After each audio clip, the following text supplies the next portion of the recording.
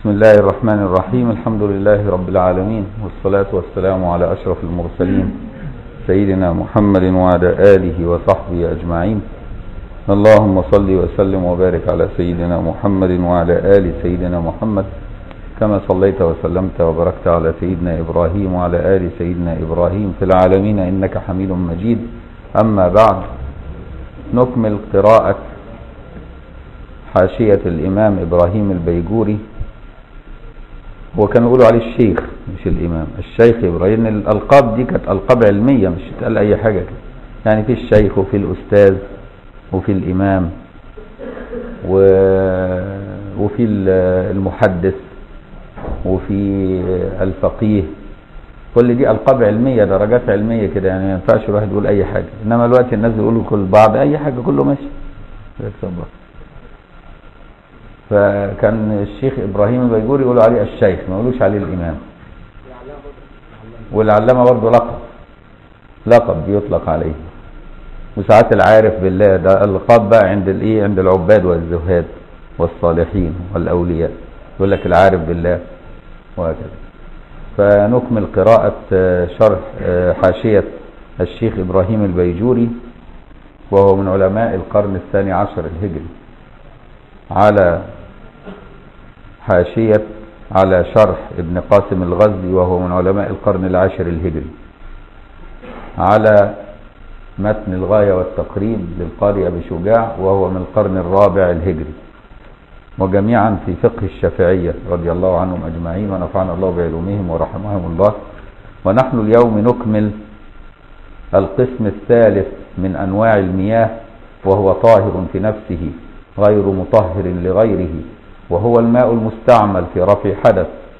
بنقرأ في الهامش حتى ما وصلنا. ثم بعد ذلك ندخل في في الحاشية. وهو الماء المستعمل في رفع حدث أو إزالة نجس إن لم يتغير ولم يزد وزنه بعد انفصاله عما كان بعد اعتبار ما يتشربه المغسول من الماء. بكل ده إحنا شرحناه. لازم تذاكر. عارف لو حضرت وما ذاكرتش؟ هتستفيد بركة القعدة. لكن هتنسى العلم. لكن هتستفيد بركة القعدة برضه. برضه هتستفيد لكن إحنا عايزينك تستفيد الاثنين بركة القعدة والعلم نفسه. فلازم تذاكر وتروح البيت تقرأ تاني. ضروري. بعد اعتبار ما يتشربه المغسول من الماء والمتغير أيوة من هذا القسم الماء المتغير أحد أوصافه بما أي بشيء خالطه من الطاهرات تغيرا يمنع إطلاق اسم الماء عليه فإنه طاهر غير طهور.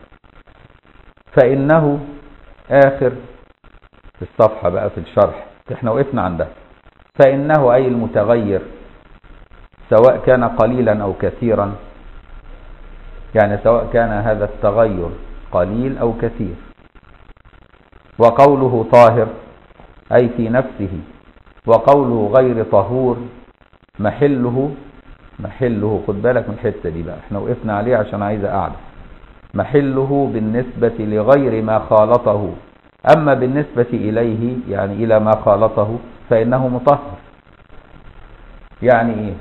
يعني الماء إحنا قايلين الماء المتغير بما خالطه من الطاهرات. طاهر غير مطهر. إذا تغير تغيرا يمنع إطلاق اسم الماء عليه.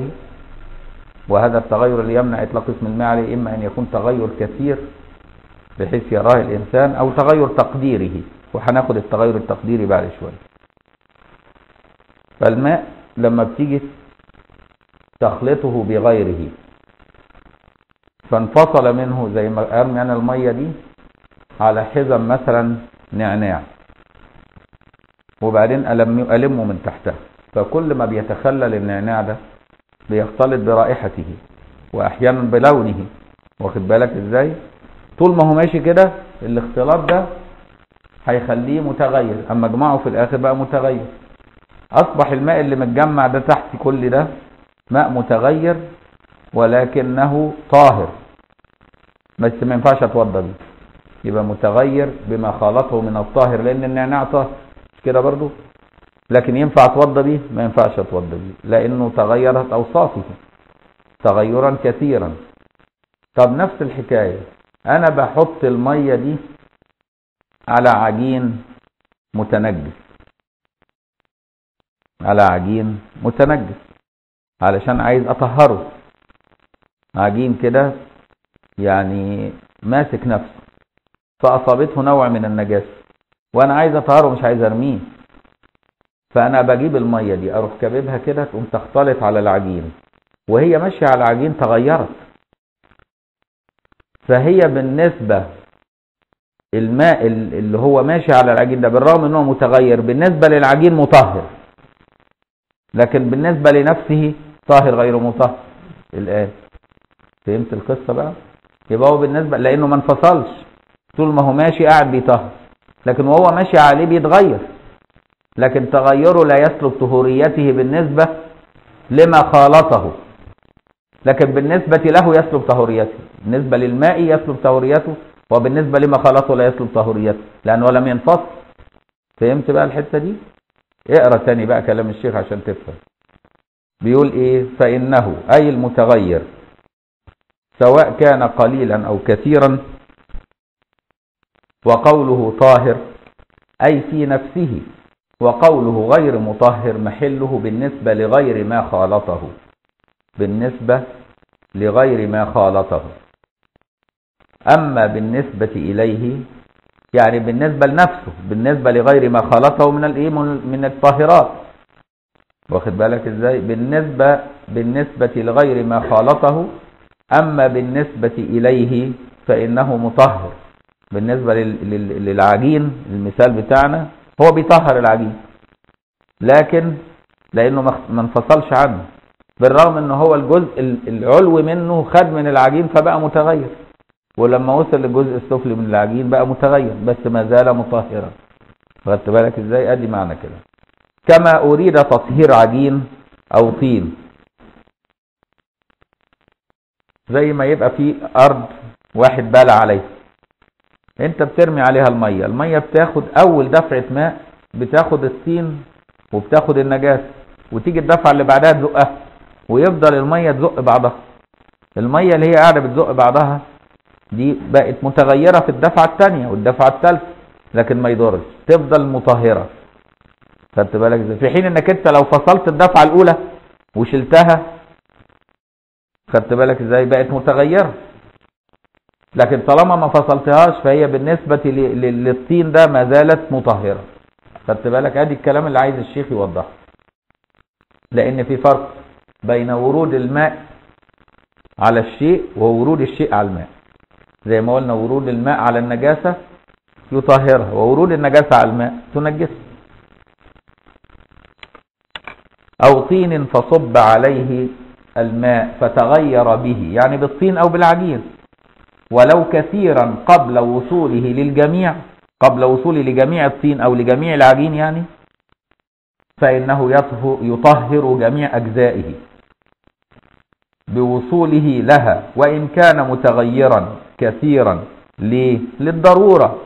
لأن يعني لو الشرع طلب منك إن مجرد ما تغير مش هيطهر اللي بعده هيصعب عليك صعوبة شديدة جدا إنك تطهر المية فأصبح لوجود العسر للضرورة بنتجاوز عن هذا شرعا. وإن كان هو بالعقل يقول لك ما هو تغير من أول دفع. لا بس الشرع يتجاوز عن هذا. يقول لك ليه للضرورة. لأنه لا يصل إلى جميع أجزائه إلا بعد تغيره. كما قال الشبر من كما قاله الشبر ملسي الشبر ملسي ده من علماء الشافعية نسبة لشبر ملس يعني قرية تبع الأليوبية. في كذا شبرة في مصر. شبرة ملس وشبرة البلد وشبرة الخيمة. شبرة خيط مش كده برضو؟ في كتير. في كذا شبرة كده في مصر. ده من شبرة ملس كما قاله الشبرة ملسي نقلا عن الطبلاوي الطبلاوي ده مش المقرئ بتاعنا. ده لسه عايش. الطبلاوي ده ميت في القرن العاشر الهجري. ها؟ ميت في القرن العاشر الهجري. الإمام الطبلاوي كان مصري. اللي هو نصر الدين ناصر الدين الطبلاوي كان معاصر للإمام محمد شمس الدين الرملي. ابن شهاب الدين الرملي أحمد. يعني الشيخ أحمد شهاب الدين الرملي كان من أئمة الشافعية. في القرن التاسع الهجري. أنجب علماء كت... أنجب أبناء ذكور كان أعلمهم محمد ابنه واللي كل اسمه أحمد يسموه شهاب الدين واللي كل اسمه محمد يسموه إيه؟ شمس الدين.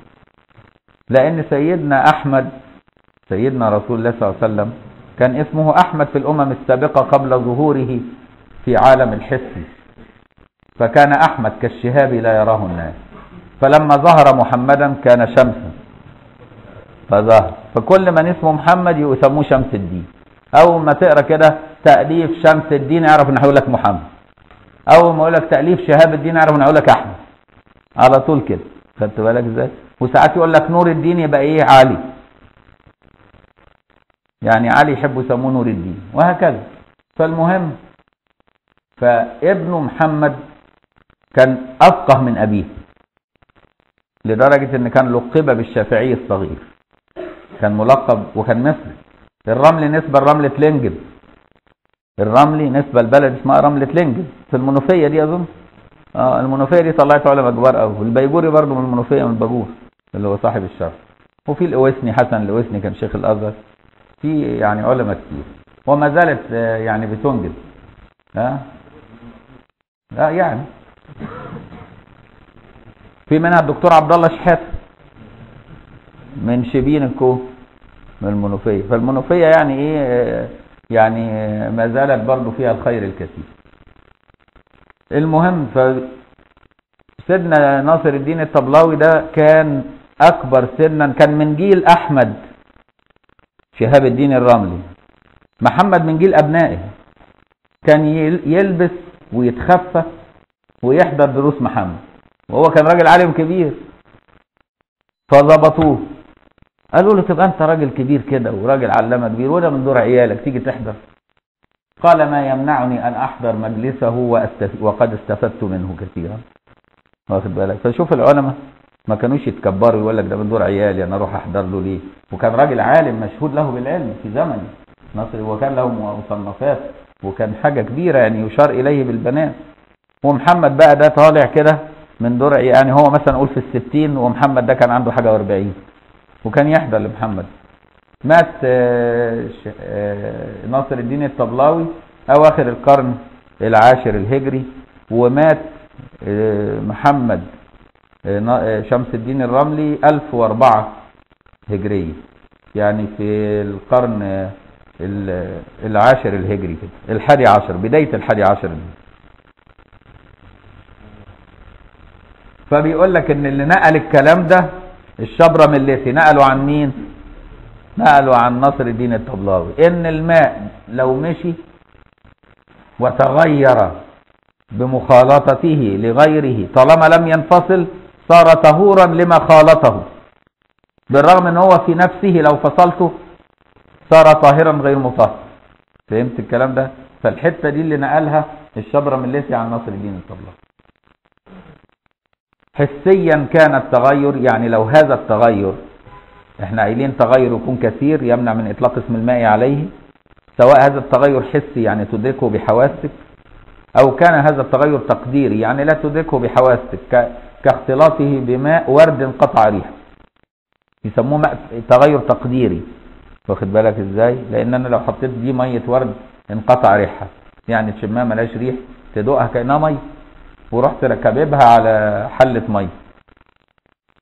أقوم أنا إيه أعتبر إن حصل في حلة المية دي تغير بس تغير تقديري. يعني أنا ما أقدرش أدركه بحواسي فأنا ابتدي أعتبر الكوباية دي فيها صفات حسية. لو كانت قدر الكوباية دي في تغير حسي واختلط بالحلة دي غيرها ولا لأ؟ أقدرها أنا بقى كده. أقول لو الكوبايه دي اللون فيها لون الرمان. فهمت إزاي؟ لون متوسط. الرمان ده لون حمرة خفيف. مش عصير رمان حمرته خفيفة؟ خفيف. لأن دي طهارة. بخلاف النجاسة أقدر فيها حاجة تقيلة لون لون الحبر. عشان دي نجاسة. لكن لما تبقى حاجة طاهرة واختلطت بالماء أقدر حاجات متوسطة. فأبتدي اللون أعتبره لون الرمان. أقول لو اختلط المية قدر الكوب ده عصير رمان بالحلة دي هيغير لونها؟ يقوم الناس يقولوا لا ما يغيرش. أقول طيب افرض إن قدر المية دي بطعم عصير العنب. واخد بالك إزاي؟ واختلطت تغير الطعم؟ يقول لك لا. نقول طيب افرض إن المية دي يعني هو هيقول لك هنا رائحتها رائحة اللازم اللي هو اللبان الذكر ما إحنا عندنا لون وطعم ورائحة اللبان الذكر ده لما بيتنقع في مية بيدي ليها ريحة بس خفيفة يعني تشمها ما تقرب لها. واخد بالك؟ هو مش عايز يدي لك ريحة زع عايز ريحة برضو متوسطة. طب افرض ان دي لها رائحة اللازم اللي هو اللبان الذكر وأنا كبت تغير؟ يقول لك ما تغيرش يبقى خلاص قوم اتوضى بيه. يبقى ده التغير التقديري. أقدر ودي طريقة ابن عصرون من متقدمي الشافعي. واخد بالك طريقة المواردي مختلفة عن صاحب الحاوي. قال لك إن أنا أقدره أقدره بماء ورد غير منقطع الرائحة. بالأصلي بقى بتاعه. ودي برضه طريقة كويسة. يعني ده ماء ورد انقطع ريحه طب أفرض إن الكوباية دي كانت ماء ورد عادي. لو كانت اختلطت بالحله دي كانت هتغير؟ لو قال لك تغير يبقى خلاص تضر. لو قال لك ما تغيرش ما تضرش. فهمت إزاي؟ دي طريقة الإمام إيه المواردي صاحب الحاوي. هنشوف كلام الكلام ده. أنا لخصته لك قبل ما أقرأه يعني. فبيقول إيه؟ سواء كان هذا التغير حسيا كان التغير أي بأن كان يدرك بإحدى الحواس والمراد بها هنا الشم والذوق والبصر. يعني البصر العين. تشوفه بعينك. أو تدوقه بلسانك أو تشمه بأنفك أما السمع واللمس ملهاش محل هنا بقى. أما وأما السمع واللمس وإن كان من الحواس فلا مدخل لهما هنا. فيدرك فيدرك بالشم الريح وبالذوق الطعم وبالبصر اللون. كلام واضح مش عايز شرح. أو تقديريا أو كان بقى التغير تقديريا زي ما اديت لك المثال أي بأن كان لا يدرك بإحدى الحواس المتقدمة.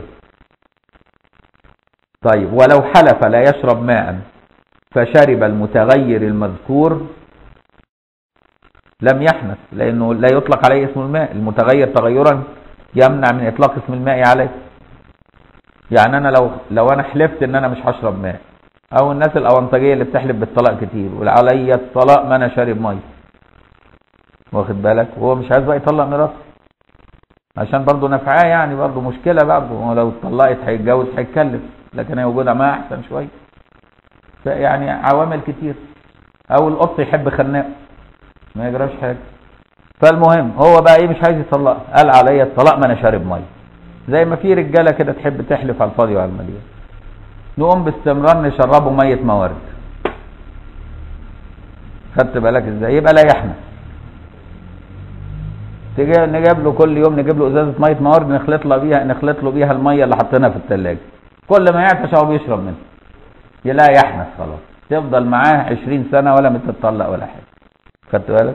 وكذلك لو حلف بالله الا يشرب ماء فشرب ماء متغيرا تغيرا يمنع من إطلاق اسم الماء عليه يبقى لا يحنث برضه. فهمت إزاي؟ يعني ما عليهوش كفارة. ولو حلف لا يشرب ماء فشرب المتغير المذكور لم يحنث لأنه لا يسمى ماء. ولا فرق بين الحلف بالله والحلف بالطلاق. الشافعية عندهم كلمة علي الطلاق دي فيها ثلاث أوجه. الشافعية لما واحد يقول علي الطلاق ما تعملي كذا أو لا تعملي كذا أو لا تاكلي كذا أو أي حاجة المهم قال علي الطلاق اللفظ ده.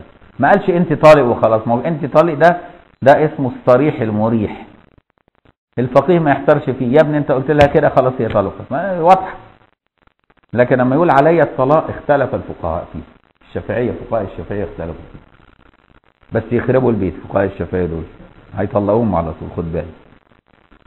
علشان كده في الأزهر ما بيردوش يفتوا. أما بيروح الواحد شافعي في دار الإفتاء يقول له روح للأوضة اللي جنبي يا ابني. واخد بالك؟ عشان يروح لواحد تاني بدل ما يطلق البيوت. الشافعية نظروا لما يقول علي الطلاق. يعني علي الطلاق أنفذه؟ يعني نازرين علي أن أنفذه فنظر على نفسه فصار طلاقا معلقا؟ يعني هل هي من نوع الطلاق المعلق بشيء فيقع بوقوع الشيء؟ بلفظ كلمة علي. يعني وجب علي أن أطلق. إذا فعلت كذا مثلا كأنه أوجب على نفسه فصار طلاقا معلقا. فهمت إزاي؟ ده وجه. فيقول لك يقع بوقوع ما علقه عليه. علي الطلاق ما تروحي طنطا أما تحب تتطلق تروح طنطا ولو بعد سنة. لأن بتفضل اليمين كده على طول متسلط كأنه بقت العصمة في إيدها. وقت ما تحب تتطلق تروح راكبه القطر على طنطا وخلص. واخد بالك إزاي؟ يقع اليمين على طول. يبقى الراجل اللي بيعلق اليمين ده طلاق المعلق ده بيفقد العصمة بيديها لها. خلاص بقى يبقى فقد العصمة. في أي وقت تروح عاملة عاملة الشغلانة اللي علقها بقت طلقه فنظروا إلى هذا المعنى. قالوا إن هو نوع من الطلاق المعلق ده وجه عند الشافعية. وجه ثاني قال نظر إلى كلمة يبقى في وجه نظر لعلي فقال ده إيه؟ يعني طلاق معلق علي والثاني نظر إلى كلمة الطلاق. لفظ صريح. ده صرح بلفظ الطلاق. ط لام ألف قاف. طلاق. وده لفظ صريح مش لفظ كناية. لأن في طلاق طلاق صريح وطلاق إيه؟ غير صريح اللي هو الكناية. اللي بننظر فيه ساعتها للنية لكن اللفظ الصريح ما ننظرش لنية الزوج ما نقولوش انت قصدك إيه لأنه ده واضح. فقال لك لا خلاص ده طلاق وقع. واخد بالك إزاي؟ طلاق وقع. وناس تانيين وجه ثالث وده الراجح على فكرة عند الشافعية إنه يقع الطلاق على طول. يعني يجعلوه طلاقا تنجيزيا في الحال حتى ولو لم يقع ما علقه عليه لأنه تلفظ باللفظ. خدت بالك؟ فيعتبروه منجز. منجز يعني إيه؟ يعني ناجز. في الحال وقع كأنه قال لها أنت طالق. لأنه نظر للفظ الطلاق. اللي نظر للفظ عليا قال إن ده معلق. واللي نظر للفظ الطلاق وجه تاني قال لأ ده طلاق منجز. صريح. واللي لفظ للاثنين على بعض علي الطلاق قال ده يمين. قال إيه؟ ده يمين. كأنه بيحلف. بيقول والله ما تعملي كذا. يبقى إيه؟ يكفر كفارة يمين. يعني يطعم 10 مساكين يصوم 3 أيام يحل عنه. واخد بالك؟ وده اللي بيفتوا بيه الوقت. وهو أضعف الوقوف عند الشافعي. وليست عليه الفتوى. إلا إن الوقت بسبب كثرة البلوى بقوا يفتوا بالإيه؟ بالوجه الخيبان ده. لكن أحسن حاجة إن الرجالة ما تقولش الكلام ده. عشان ما يبقاش عايش ملخلخ مع مراته. ما هو مش شرط يبقى إعلامها. مش شرط إعلامها. يعني ممكن يطلقها في أوضة ضلمة. لوحده. لوحده. لا لا ده لوحده كده. هو قاعد كده لوحده. وممكن يطلقها بالخطاب بالجواب يبعت لها جواب ممكن بالمحمول. أو ممكن يبعت لها تلغراف. ممكن بالوكالة. يعني هو عامل توكيل للمحامي ومسافر. واخد بالك؟ وعرف إنها عملت تصرفات مثلا ضايقته. فيتصل بالمحامي يقول له طلق لي فلانة. محامي معاه التوكيل بتاعه خلاص يروح. وممكن يقول له اتجوز لي فلان يروح يتجوز له فلانة ويبعتها له في الطيارة. واخد بالك؟ بالوكالة. كل ده يجي. ده الدكتور علي اللي يقول الحكاية دي. الدكتور علي جمعة. يقول لو قال انت طالق بالهمزة يبقى لا يقع لأن هي لازم يقول انت طالق بالقاف. ده الدكتور علي على عهدته أنا ماليش دعوة بيه. ما سمعتهاش إلا من الدكتور علي. دكتور علي جمعة.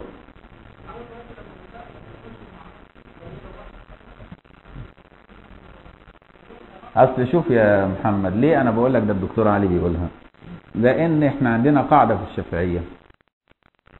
إن الأيمان والنذور يؤخذ فيها بالعرف مش باللغة.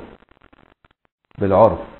والعرف دلوقتي الناس لما بيطلق يقول انت طالق بالهمز صح؟ فبيؤخذ في الأيمان والنذور بالعرف.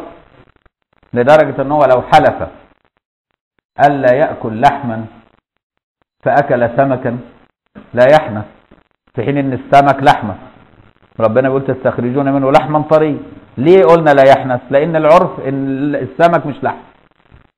إحنا العرف بتاعنا السمك مش لحم. صح؟ في العرف. فنؤاخذه بالعرف. يعني قول مراتي طالق لو كلت لحمة. يقعد ياكل سمك طول عمره ما تطلقش ما. ليه؟ لأن نأخذ بالعرف في الأيمان والطلاق والنذور والعتاق. يقدم العرف على اللغة. خدت بالك إزاي؟ لأن إحنا لينا عرف الناس. فعلشان كده أنا بقول الدكتور علي بيقول كده. واخد بالك إزاي؟ الدكتور علي عنده من العلم اللي يقدر إيه؟ يعني يتحمل هذه المسؤولية. لكن إحنا اتعلمنا من مشايخنا القاعدة دي. إن الأيمان والنذور والطلاق والعتاق كله يدخل فيه العرف أولى من اللغة. خدت بالك؟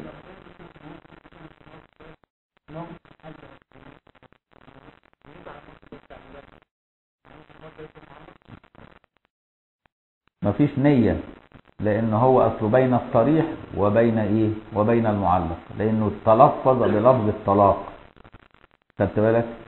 لكن لو ما تلفظت بلفظ الطلاق نقوم نبتدي نقول نيتك إيه؟ يعني لما يقول لها مثلا إيه خلاص يا بنتي اللي بينا انتهى. خدت بالك إزاي؟ قال لها الكلمة دي. وبعدين بعد كده جه يوم بيتصل بيها ولا مش هتيجي بقى تشوف العيال؟ ده أنا قاعد طول النهار ما حدش طبخ لهم والعيال ده أنا لايف تعالي بقى. تقول له مش أنت قلت اللي بينا انتهى؟ روح للشيخ. اسال الشيخ يروح للشيخ يقول له انت كان قصدك إيه يا ابني؟ لأن كلمة اللي بينا انتهى تحتمل يقصد طلاق يحتمل تهديد يحتمل اي حاجة بقى.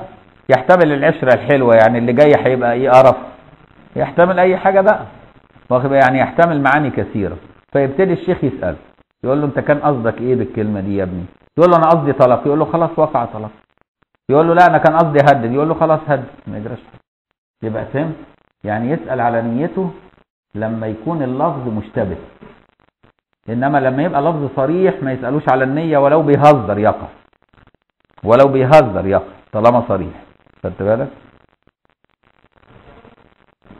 إحنا هنقعد بقى نطلق طول إحنا عايزين نخلص المهم المتغير لا أنا بدي لك مثال كده بس عشان إيه؟ أضيع رتابة الإيه؟ الكلام. لأن ساعات الكلام كده إيه؟ يزهق شوية. بحس بيكم انكم هتزهقوا مني. أو كان التغيير تقديريا بأن كان لا يدرك بإحدى الحواس المتقدمة ولو حلف لا يشرب ماء فشرب المتغير المذكور لم يحنث لأنه لا يسمى ماء ولا فرق بين الحلف بالله والحلف بالطلاق. ولو كان التغير تقديريا كما أفتى به الطبلاوي ونقله عن الشبرملسي صلح عنه الشبرملسي لأن الشبرملسي ده بعد الطبلاوي. ها؟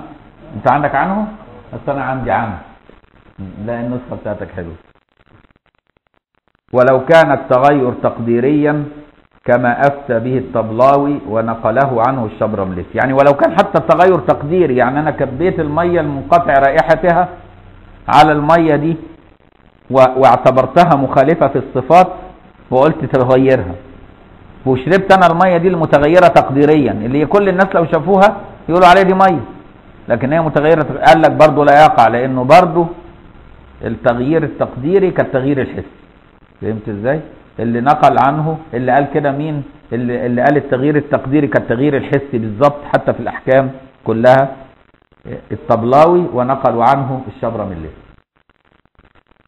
كأن اختلط هيدي لك مثال بقى. كأن الكاف دي للتشبيه. كأن اختلط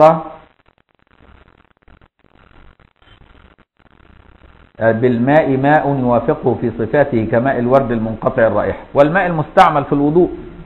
ما هو الماء المستعمل في الوضوء ده؟ لا لونه اتغير ولا رائحته اتغيرت ولا في حاجة. وجاي يختلط بالمية أقوم ابتدي برضه يعمل تغير تقديري. فهمت إزاي يعمل تغير تقديري برضه؟ يبقى المثالين هم دول لا لا ثالث لهم. فهمت إزاي؟ في التغير التقديري. مثالين لا ثالث لهم في فقه الشافعي. اللي هو ماء الورد المنقطع رائحته والماء المستعمل في فرض وضوء أو غسل. خدت بالك إزاي الاثنين دول؟ هم دول اللي بنعتبر فيها التغير تقديري. كأن اختلط إلى آخره الأولى الإتيان بالباء. كان حقه يقول بأن بدل ما يقول كأن. ده الشيخ الشارح يعني المحشي بيقول. لأن الباء تدل على الحصر كما صنعه العبادي. العبادي برضه في القرن العاشر الهجري شرح متن أبي شجاع وما قالش كأن قال بأن. وادى المثال بالباء لأن الباء تدل على الحصر إنما الكاف تدل على مثال قد يكون هناك أمثلة أخرى. لكن هو بيقول لك ما فيش أمثلة أخرى. فهمت دقة المشايخ بقى في الكلام؟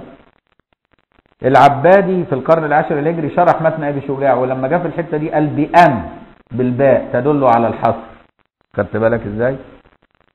في شرحه لأن تعبيره بالكاف يوهم أن هناك مثالا آخر.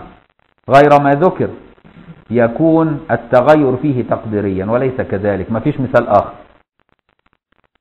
وقد تجعل وبعدين هو بيرد على نفسه بيلتمس العذر للشيخ. يقول وممكن نجعل الكاف للاستقصاء لأن قد تستعمل قليلا في اللغة أن الكاف للاستقصاء. مش للتشبيه المطلق لا للاستقصاء. خدت بالك؟ كأنه بيستقصي كل شيء. بس ده ضعيف في اللغة. فاعتبره عذر للشيخ في الآخر. قال يمكن مذهبه في اللغة كده. وقد تجعل الكاف استقصائية وهي التي لم تبق مثالا آخر. وبعدين بيقول لك ما يوافقه في صفاته يعني في التغيير التقديري إن هو يختلط به ما يوافقه في صفاته كماء ورد انقطع ريح. أي ما يوافق الماء في صفاته كلها التي هي الطعم واللون والرائحة والريح. فيقدر في الحالة دي نعمل إيه؟ يقدر مخالفا وسطا بين أعلى الصفات وأدناها. بين أعلى الصفات لأن أعلى الصفات بنعتبرها في النجس. احتياط. فهمت إزاي؟ فهنعتبره إحنا وسط لأن ده طاهر. وأدناها. الطعم طعم الرمان واللون لون العصير. أنا عكست الظاهر لما اديت لك المثال قلت لك لون العصير الرمان لا هو هنا بيقول لك الطعم طعم الرمان واللون لون العصير والريح. ريح اللاذن بفتح الذال المعجمة وهو اللبان الذكر. كما هو المشهور وقيل اللاذن هو رطوبة تعلو شعر الماعز ولحاه. فإن كان لها رائحة كده يعرفها الناس اللي بيربوا معيز فإذا كان الواقع في الماء قدر رطل من ماء الورد الذي لا طعم له ولا لون وله ولا ريح له نقول لو كان الواقع فيه قدر رطل من ماء الرمان هل يغير طعمه؟ أو لا. فإن قالوا يغيره سلبنا طهوريته وإن قالوا لا يغيره نقول طيب لو كان الواقع فيه قدر رطل من عصير العنب هل يغير لونه؟ بيفترض بقى الفرد الثاني يبقى الأول في إيه؟ الريح واللون الطعم وبعدين اللون وبعدين الريح.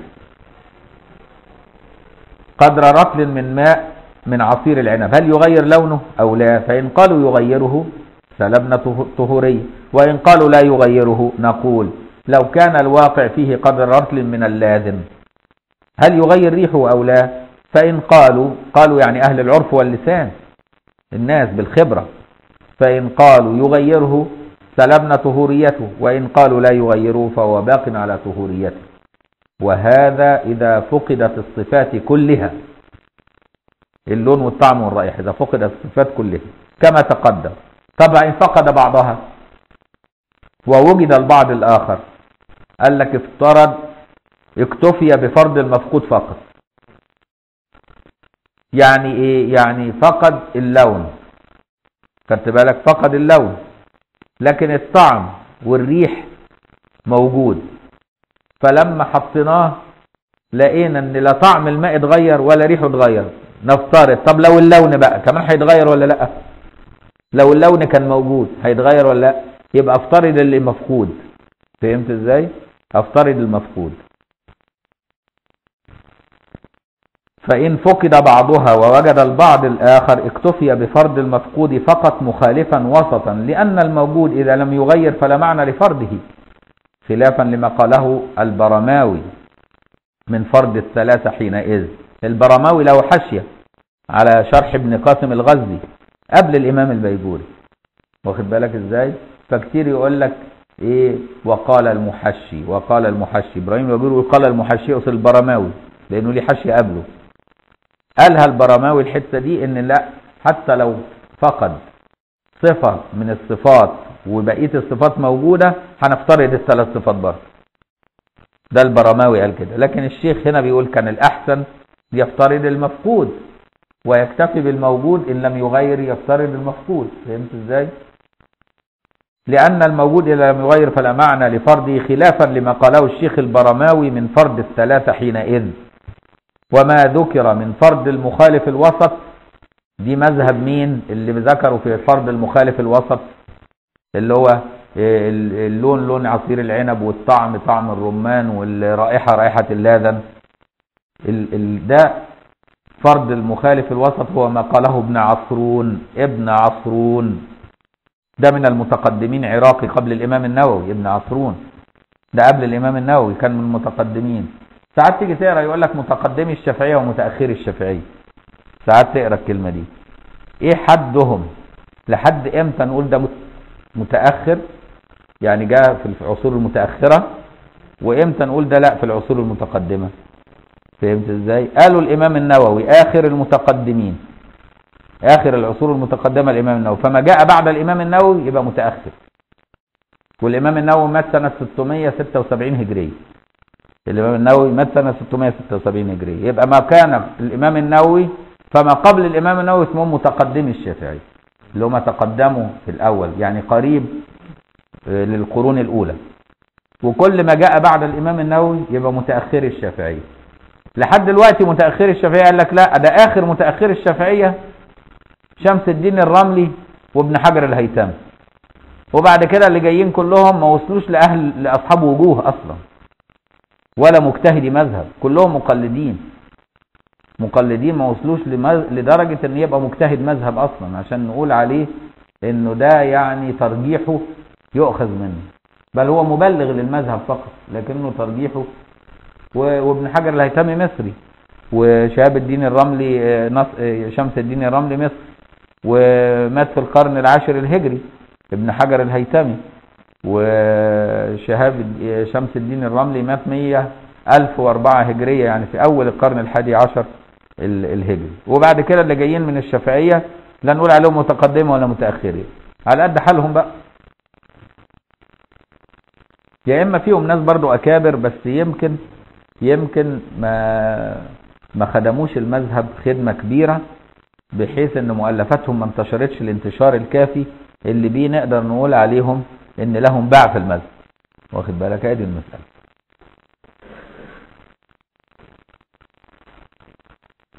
فبيقول إيه وهو ما قاله ابن أبي عصرون ده كان عراقي قبل الإمام النووي من متقدمي الشافعيه ولا قال لك نفترض إن المخالف وسطا في التغير التقديري في اللون والطعم والرائحة. الرمان عصير العنب اللازم. واخد بالك بالترتيب ده. لكن الإمام الروياني قال غير كده. الإمام الروياني ده مات سنة 450 هجرية صاحب كتاب الحاوي. واخد بالك إزاي؟ واعتبر الروياني الأشبه بالخليط. قال لك أنا أعتبر الأشبه بالخليط أحسن. ماء ورد انقطع ريحه أعتبره ماء ورد سليم. ليه أنا أعتبره مخالف ووسط في الصفات؟ ده الروياني برضه وجيه كلام وجيه حلو يعني. واعتبر الروياني الأشبه بالخليط.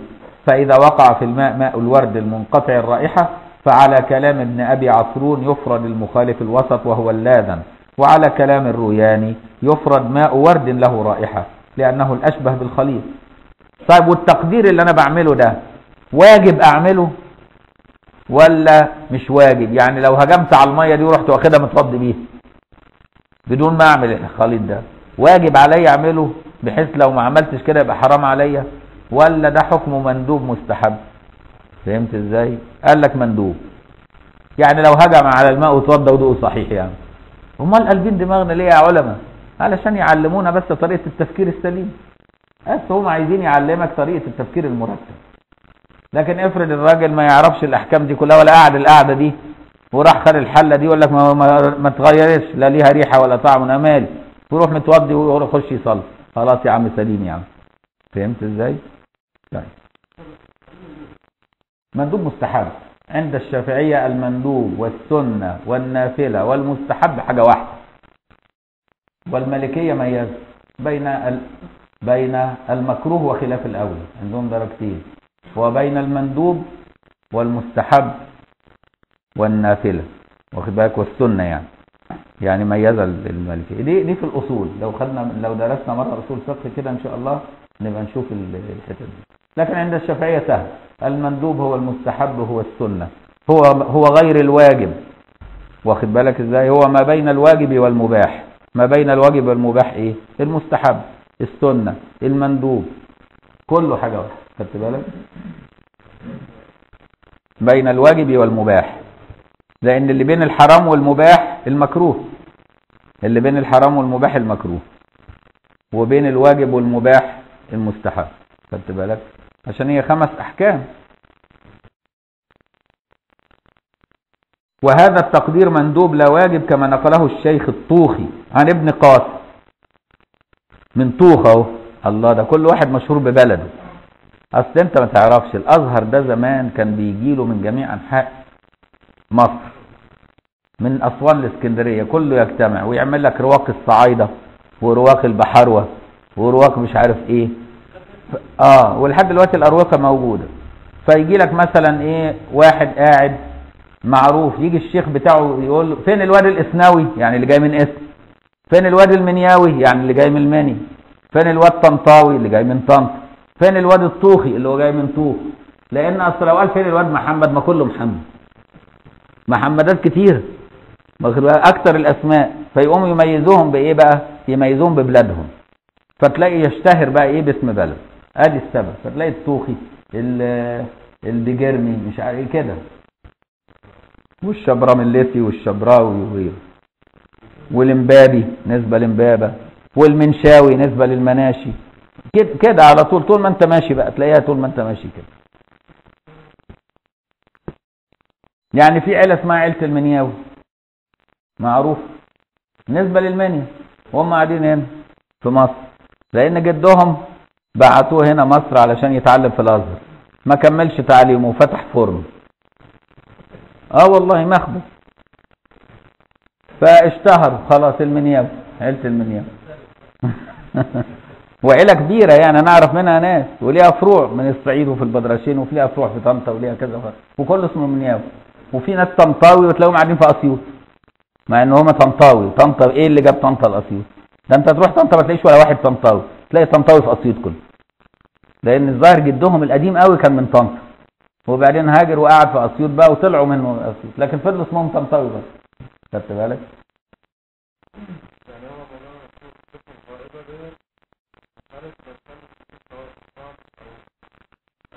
أيوه. موافق له في الصفات.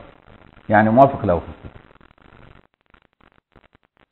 قاله الطوخي كما نقله الشيخ الطوخي عن ابن قاسم يقول لك ابن قاسم الغزي نسبة لغزة.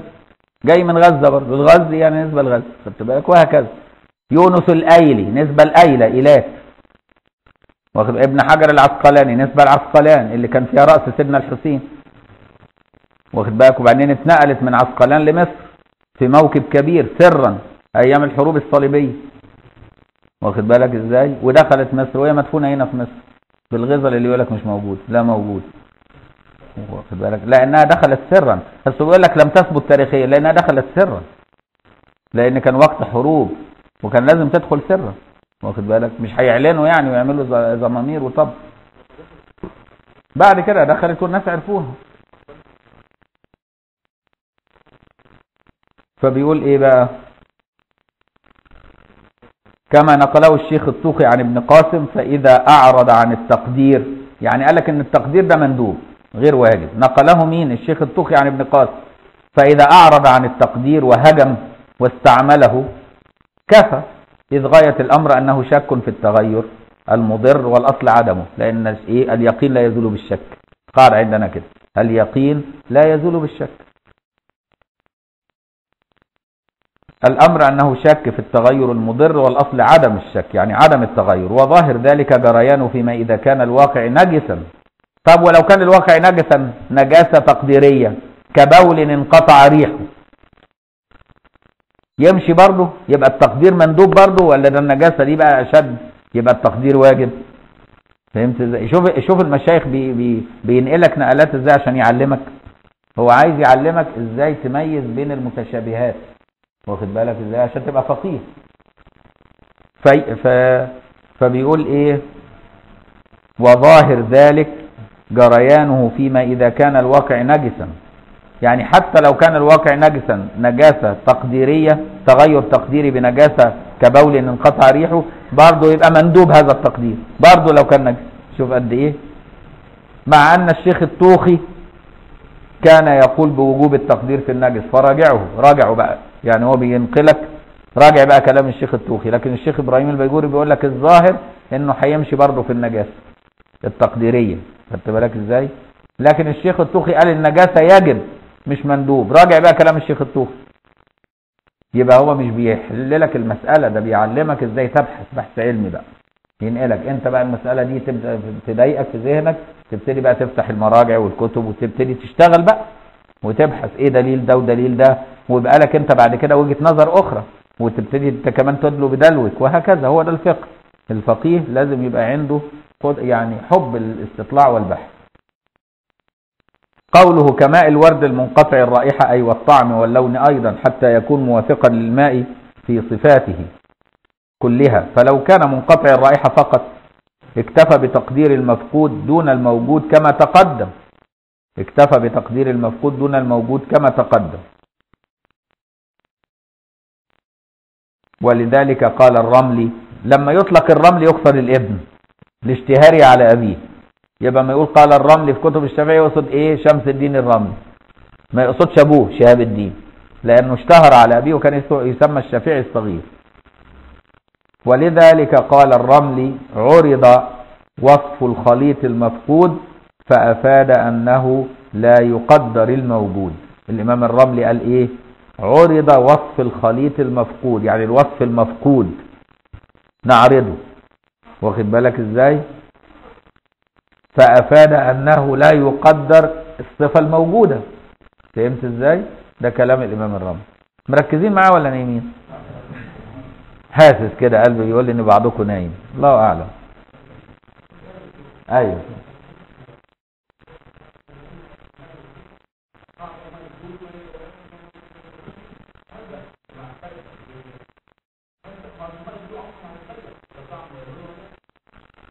أيوه لو اختلط بالماء لو اختلط بالماء هنا واخد بالك زي مندوب إنك أنت مندوب. مندوب إنك أنت تقدر مقدر يعني مخالف وسط في الصفات. مندوب أن تفعل ذلك للاحتياط لدينك إذا كثر الماء. واخد بالك إزاي؟ لكن افرض إنسان عامي ما يعرفش الأحكام وهجم عليها ما يجراش حاجة. سيبه في حاله. واخد بالك إزاي؟ ما هو الماء المستعمل. ما هو بيقول الماء المستعمل ده اختلط بماء آخر. فهيبقى التغير تقديري. مش أنت بتسأل بتقول اختلط بماء آخر. الماء الوضوء ده المستعمل ده اختلط بماء آخر. يبقى التغير تقديري. مندوب برضه التقدير. يندب التقدير ولا يلي. الإمام الغزالي صاحب الإحياء رجح وجه الشافعي القديم في مذهبه القديم إن الماء المستعمل في الوضوء يجوز استعماله مرة أخرى. طاهر مطهر. وده مذهب الملكية وهو القديم عند الشافعية. المذهب القديم للشافعي. فالإمام الغزالي في الإحياء رجح القديم على الجديد في هذه المسألة. وقال يا ليت الإمام الشافعي ظل على رأيه في القديم في الماء المستعمل واخد بالك؟ ده الإمام الغزالي. واخد بالك؟ لكن كل الشافعية إلا الغزالي ماشيين برأي الإمام الشافعي الجديد. خدت بالك ده؟ فمعظم الكتب تلاقيها مفرعة على الجديد. مش على القديم الحمد لله إن الأمر يعني فيه خلاف وسعة يعني.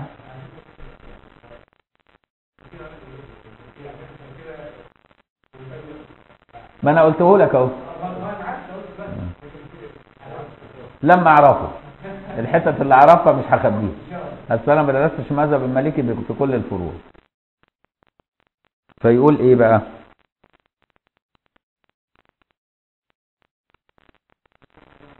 والماء المستعمل يبقى اختلط بما بما بطاهر بما خالطه من الطاهرات أو الماء المستعمل. خدت بالك إزاي؟ تقديريا كأن اختلط بما يوافقه في الصفات أو بماء مستعمل. بما يوافقه في الصفات كإيه؟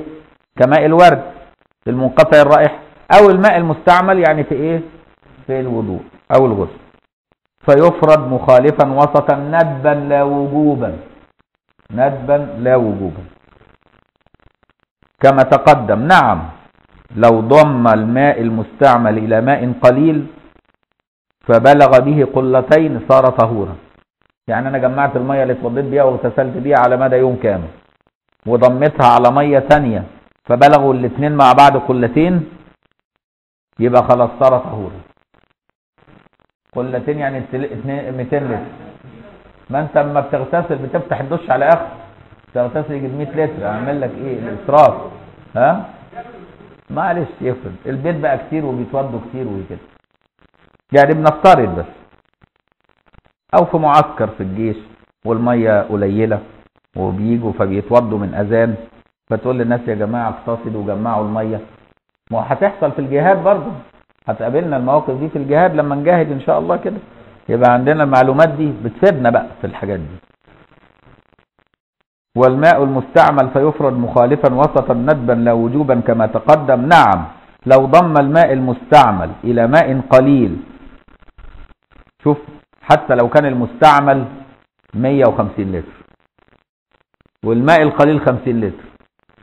فبلغوا الاثنين 200 لتر. صار كل ال 200 لتر. يعني مش شرط يبقى أكتر منه يعني أو قده. فهمت الكلام بقى؟ ولو نعم لو ضم الماء المستعمل إلى ماء قليل فبلغ به قلتين صار طهورا وإن أثر في الماء بفرده مخالفا وسطا. حتى لو كان اعتبرنا إن لو كان مخالف وسطا هيأثر في المية دي طالما بلغ القلتين مش هنعتبر التقدير أصلا. فهمت إزاي؟ وسطا يعني تقديري. ما هو الماء المستعمل ده زي ماء الورد المنقطع الرائحة. فهتضطر إيه على على طريقة ابن أبي عصرون. تعتبره بقى مخالف وسط في اللون والطعم والرائحة زي ما قلنا. وشمل أيضا ما ذكر ما لو كان معه ماءان. كل منهما مستعمل. أنا جمعت ماء مستعمل هنا 100 لتر. وماء مستعمل هنا 100 لتر. ده لوحده ما أعرفش أتوضى بيه. وده لوحده ما أعرفش اتوضى بيه. ضميتهم على بعض اعرف اتوضى بيه. لأنه بقوا 200 لتر فهمت إزاي؟ يعني إحنا لو المائين مستعملين كل على حدة أقل من قلتين. لو جمعت الاثنين على بعض بقوا قلتين أتوضى بيه. صار طهورا. فهمت إزاي؟ لا لا يمنع لا يسلبهم الطهورية إلا إذا تغيرت صفة من صفاته ما عملش فيها تقدير. فهمت إزاي؟ لا يسلبهم الطهورية إلا إذا غيرت صفة من صفاته كذلك النجاسة إذا وقعت في الماء لقلتين ما يعتبرش متنجس إلا إذا تغيرت صفة من صفاته. إنما لو لم تتغير صفة من صفاته ما يجراش حاجة. إنما لو المية قليلة ووقع فيها نقطة بول ما هي مش هتبان برضه لكن تنجس. لأنه قليل. فهمت إزاي؟ ما بصش للتغير لأنه ماء قليل. لكن أنا عندي خزان المية اللي فوق السطوح حطه فوق كبير فيه حوالي 300 لتر. وقعت فيه فاره ماتت. واخد بالك إزاي؟ لكن ما غيرتش ريحه ولا لونه ولا طعمه. وفضلت راقدة في بتاعه. وإحنا بننظف الخزان بعد شهر بصينا لقينا فيها فار ميت. ما يضرش. وإحنا اتوضينا طول الشهر بالمية دي ما يضرش. لأنه فوق القلتين فهمت إزاي؟ لأن العبرة بالتغير أيوه. لو غيرت خلاص حتى لو كان ماء البحر المتوسط.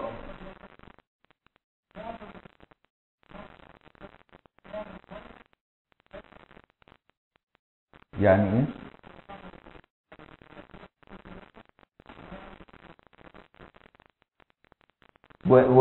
وبقت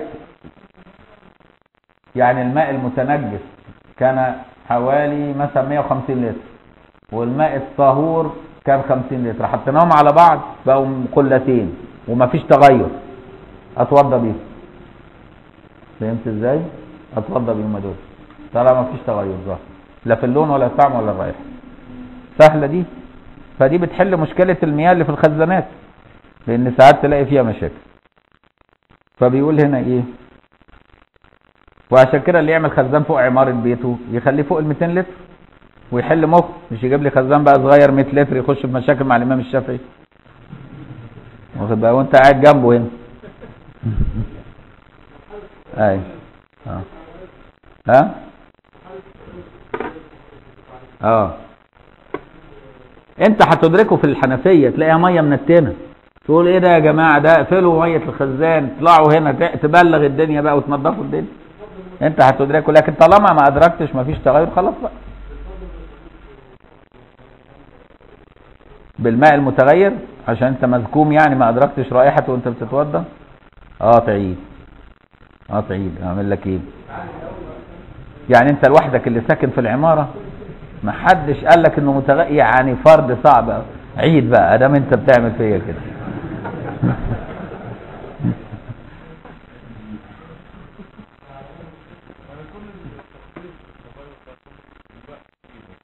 آه.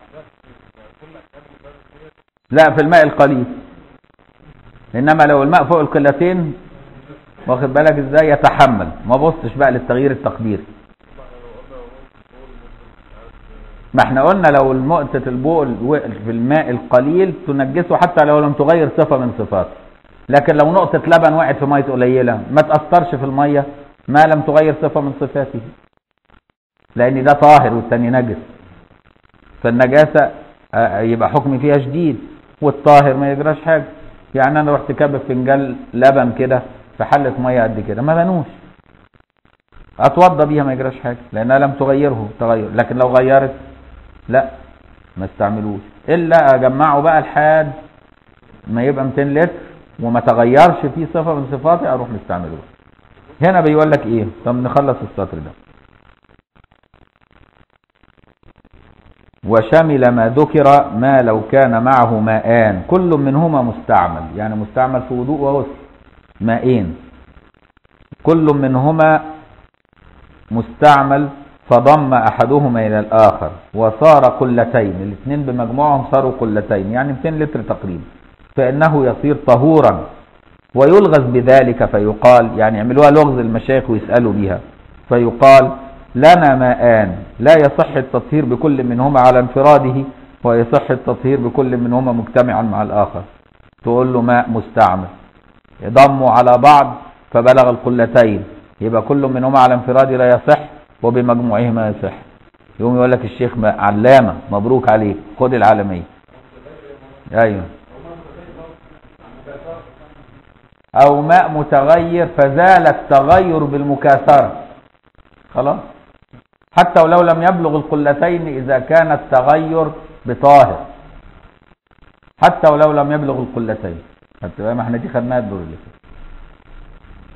قوله فإن لم يمنع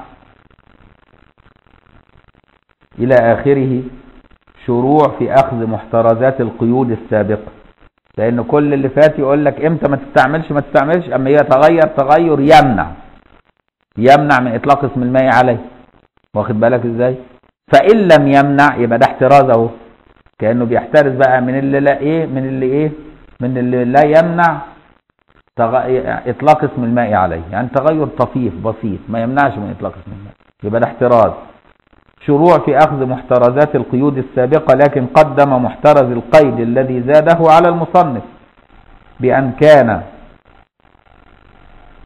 فإن لم يمنع إطلاق اسم الماء عليه بأن كان تغيره بالطاهر يسيرا أو بما يوافق الماء في صفاته وقدر مخالفا ولم يغيره فلا يسلب طهوريته فهو مطهر لغيره. كويس؟ الكلام ده قاله الشارح على المصنف اللي هو أبي شجاع بأن كان تصوير لقوله لم يمنع أو الباء للسببية وهو أظهر. أو بما يوافق الماء في صفاته أي كماء الورد المنقطع الرائحة والماء المستعمل كما مر. والمعنى أو اختلط بما يوافق الماء في صفاته فهو متعلق بمحذوف. وهو عطف على كان التغير يسيرا أو كان التغير يسيرا بمخالطته بما يوافق صفة من صفاته وكان التغير تقديريا. يبقى معنى الكلام كده يعني. متعلق بإيه؟ بكان التغير. بما يوافق الماء قد. وهو عطف على كان التغير يسيرا وليس المعنى أو كان التغير بما يوافق الماء في صفاته كما قد يتوهم لأنه ينافي قوله ولم يغيره. يعني علشان لما تقرا العبارة عايز يقول لك إن العطف مع مع اللي قبل الجملة الأولانية الأخيرة بس. فبيرد لك العطف على حتة بعيدة. وقدر مخالفا أي وسطا وقد تقدم بيانه. فلا يسلب طهوريته بل هو باق على طهوريته في الصورتين. في الصورتين اللي هو التغير التقديري والتغير إيه؟ بماء الورد الذي خالف الصورتين بتاع التغير التقديري اللي هو ماء الورد المنقطع الرائحة والماء المستعمل. دي الصورتين. فلا يسلب طوريته بل هو باق على طوريته في الصورتين كما أشار إليه بقول فهو مطهر لغيره. ولذلك اغتسل صلى الله عليه وسلم هو وميمونة من قصعة فيها أثر العجين. يعني كان في قصعة كانوا عاجنين فيها. والنبي صلى الله عليه وسلم جمع فيها مية اغتسل من هذا الماء هو وستنا ميمون فقال لك طب ما هو اختلط بغيره من الطاهرات. قال يبقى كان تغير يسير لم يغير صفة من صفاته ولم يمنع من إطلاق اسم الماء عليه. خدت بالك؟ بس. يعني مش تغتسل بمية الدقيق. واخد بقى؟ ما ينفعش. وإلا هتبقى غسل مقفع مفقع. أيوه.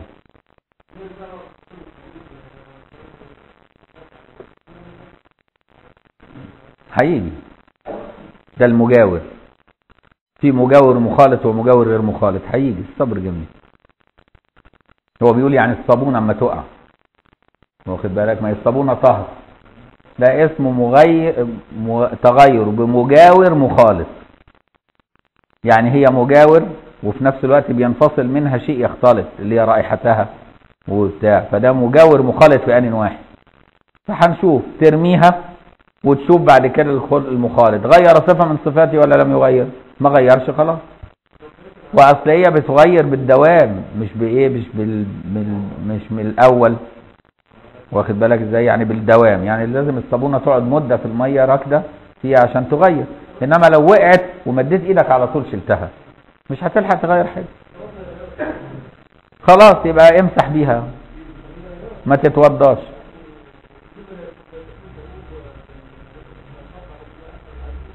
ما إحنا قايلين اللي فيه اثر العجين لم يكن تغيرا حسيا يخرج الماء من إطلاق اسم الماء عليه.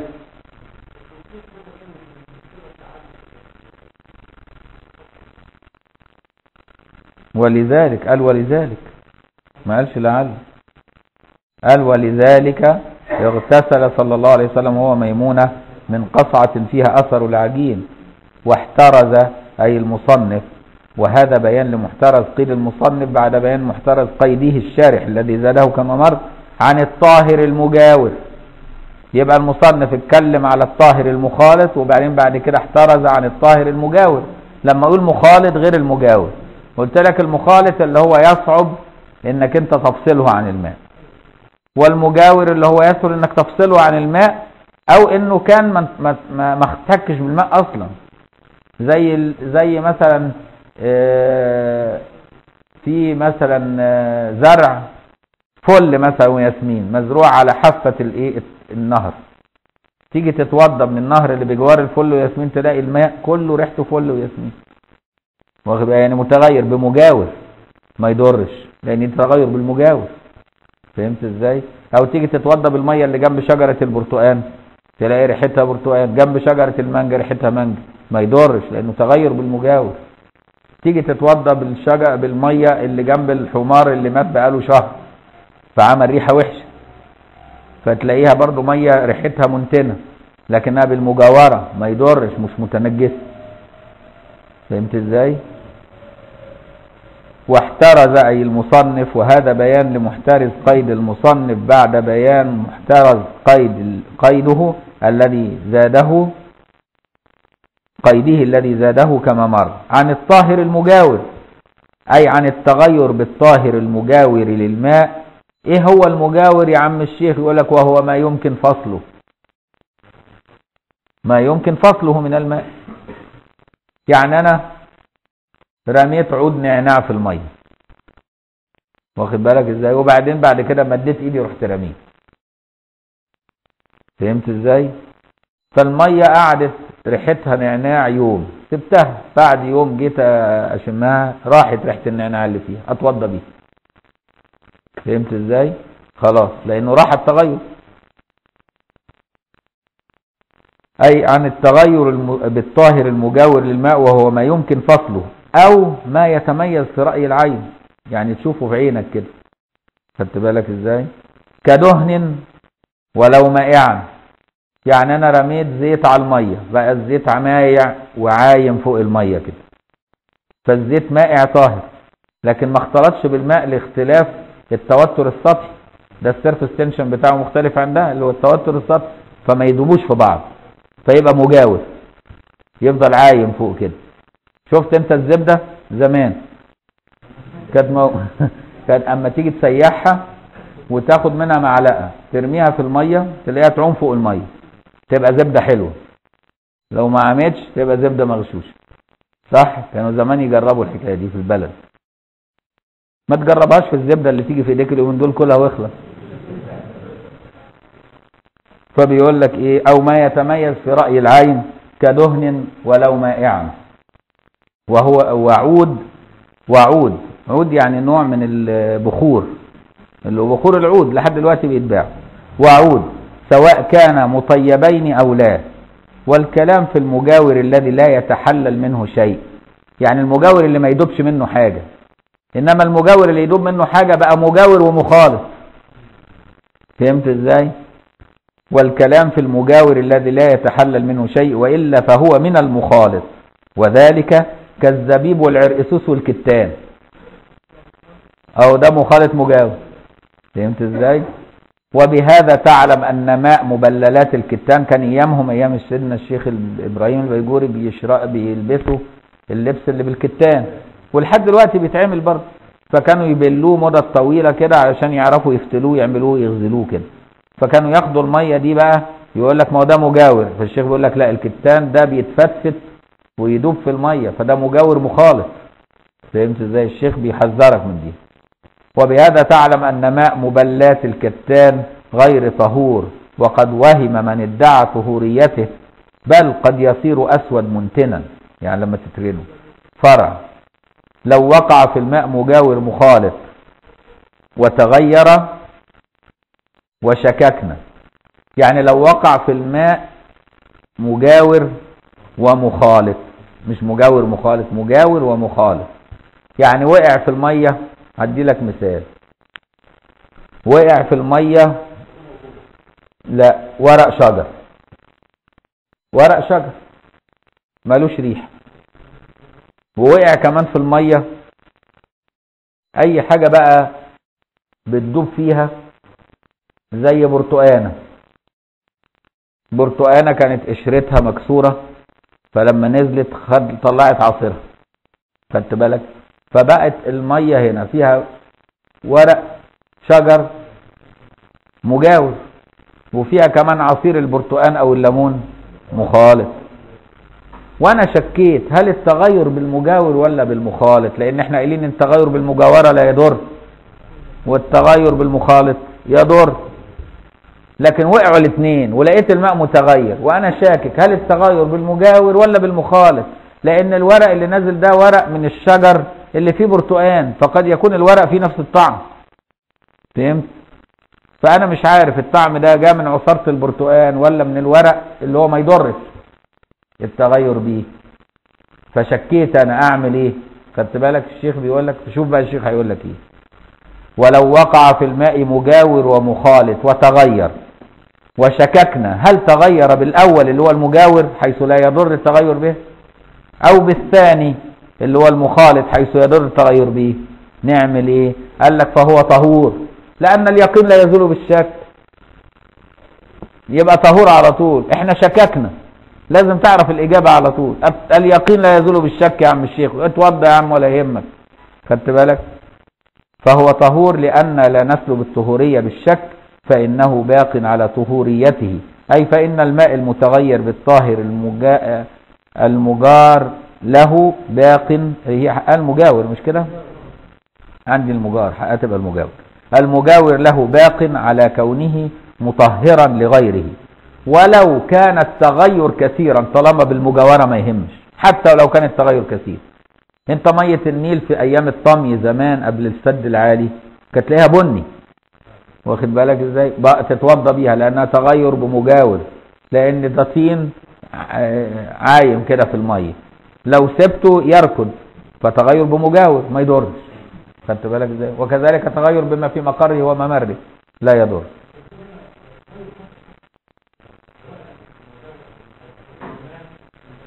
ما إحنا قايلين التغير بالمجاور لا يضر ما لم ينفصل من المجاور شيء. عندنا في الفقه كده. خد بالك الحكم الفقهي غير حكم الكيماويين. الكيمائي بقى يقول لك مش عارف إيه لو حللنا هنلاقي واحد على ألف جزء من الجزء لقينا مش عارف فيها إيه جزء إيه و- ده شغل بقى إيه أحمد زويل والكلام ده إحنا ملناش دعوة بيه. الكيمائي حاجة والفقيه حاجة. فهمت إزاي؟ يعني الفقيه بيتناول الأمور بصورة مبسطة لأن الشرع قائم على البساطة والتيسير على الناس مش بواقع الأمر ولا يعني ربك سبحانه وتعالى يؤاخذك لا بواقع الأمر ولا نفس الأمر ولكن يؤاخذك بظنك لدرجة إن هم عليكم فأكملوا العدة ثلاثين. قد يكون الغيم متخبي ورا الهلال. يوم ربك يقول لك طالما ما شفتش الهلال شهر رمضان ما ابتداش وقد يكون بدأ في واقع الأمر. لكن ربك يأخذك إيه؟ بظنك. فهمت إزاي؟ هو الشرع مبني على هذا. جابر حتى لو آه. لا اختلط بقى يبقى مخالط. يبقى مخالط نجست الماء.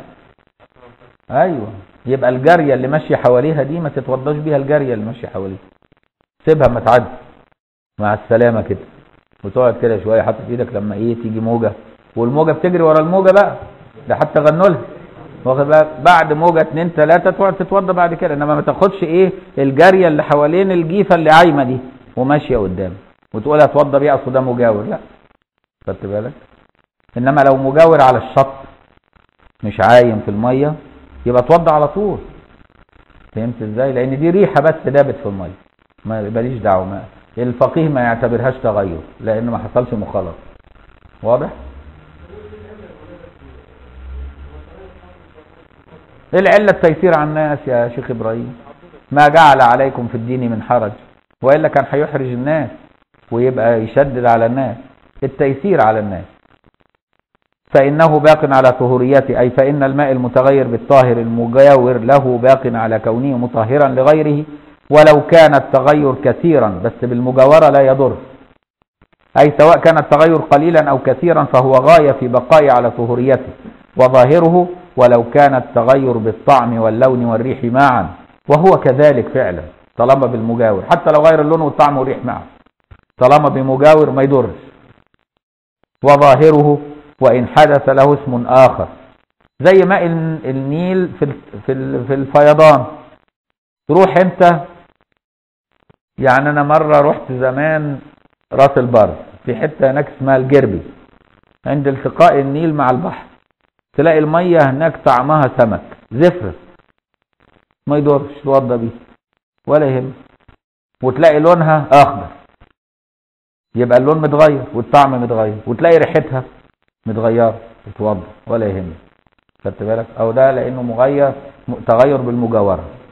خدت بالك إزاي؟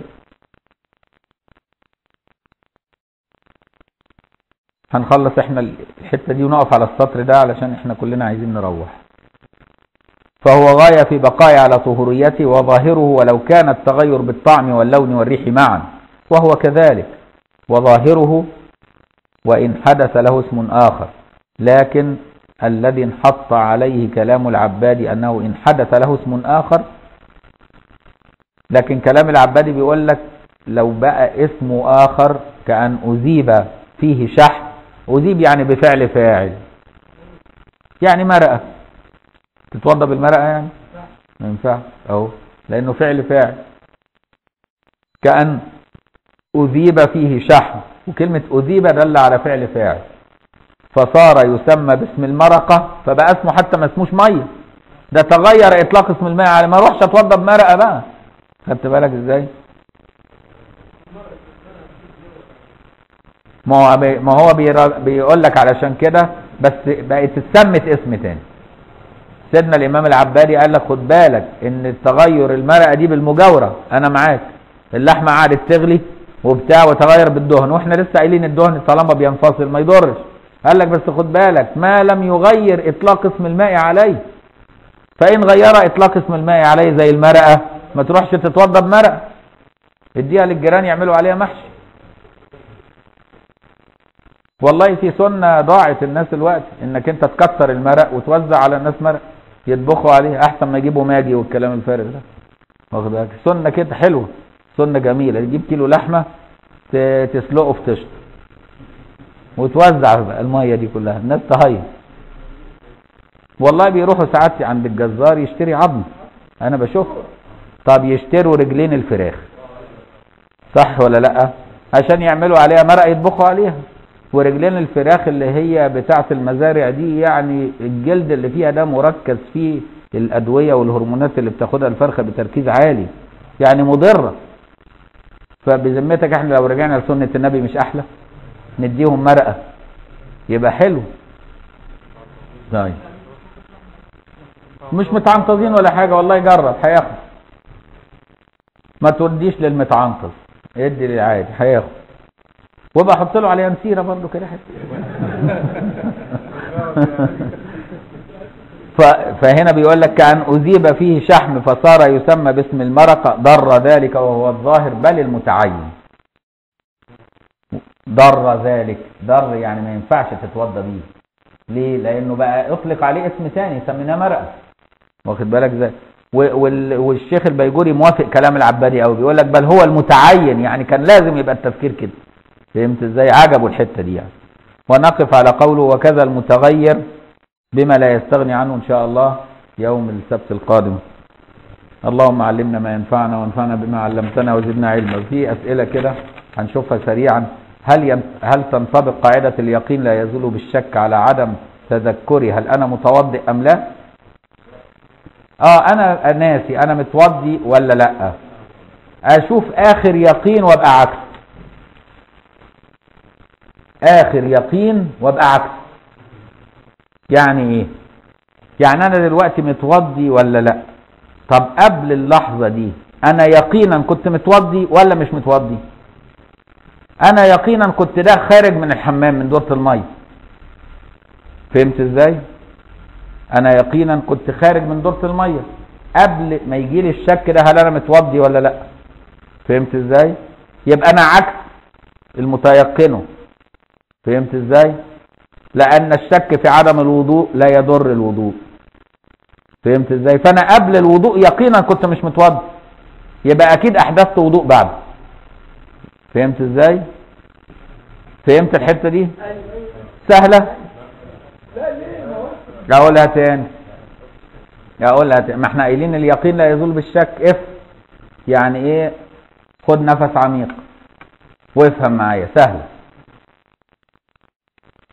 أنا كنت متوضي يقينا كويس؟ وبعدين شكيت في الحدث بعد كده. أفضل متوضي؟ صح ولا لا؟ لأن اليقين لا يزول بالشك. دي سهلة؟ ما إحنا هناخدها على حتتين. الأول أنقلك على حتتين. أنا كنت متوضي أحلف وشاكك. هل أنا أحدثت بعد الوضوء ده ولا لا؟ عندي شك. أفضل متوضي. لأن اليقين لا يزول بالشك. فهمت إزاي؟ سهلة؟ طيب نيجي بقى مسألة تانية أشد تعقيدا.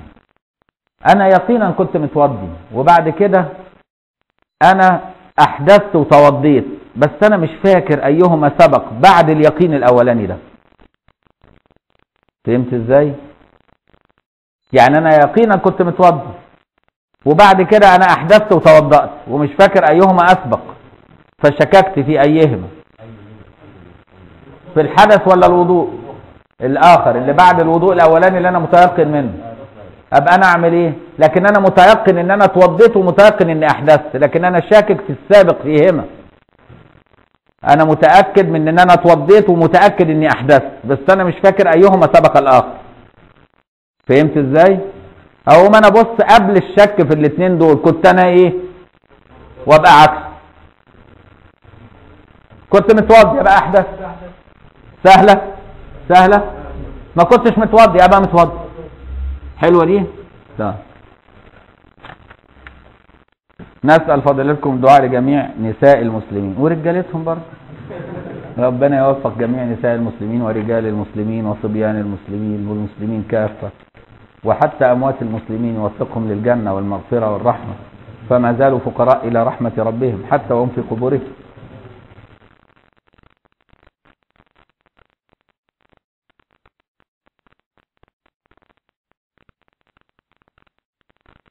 بت... بتعيب ع- بيعيبوا عليا ما أعرفش ده راجل ولا ست. بيقول ان إحنا إيه بنلاحظ انك انت كتير بتتهجم على السلفيين أو الوهابيين وانهم لا يحب سيدنا محمد ما بيحبوش. أنا ما قلتش كده. ما قلتش ان هم ما بيحبوش سيدنا محمد على فكرة. أنا قلت هم لا يوقروا سيدنا محمد التوقير اللازم. ولا آل البيت. أيوه. بعضهم بيعيب في آل البيت. دي حقيقة. واقرا كتاب منهاج السنة لابن تيمية اللي هو شيخهم. في آل البيت بصريح العبارة. وكتاب منهاج السنة مطبوع واشتريه. أنا مش بقول لك كلام بتاع روح اشتريه. منهاج السنة. لابن تيمية روح اشتريه. جزئين. أيوه. بيعيب في آل البيت. في منهاج السنة. ليه؟ لأنه كان بيرد على الرافضي. في الكتاب ده بيرد على واحد من الروافض كان متعصب لآل البيت وقال إن هم معصومين. فهو عايز يبين له إن آل البيت دول ولا حاجة يعني. فبدل بقى يعني فبقى يعيب في البيت فهمت إزاي؟ أدي الكلام. وعاب في سيدنا علي وممكن أجيب لك نصوص. عشان كده أنا زعلان منه الحقيقة. واخد بالك؟ والله. بيني وبينه كده زعل. لكن إن شاء الله ربنا يغفر له ويدخل الجنة.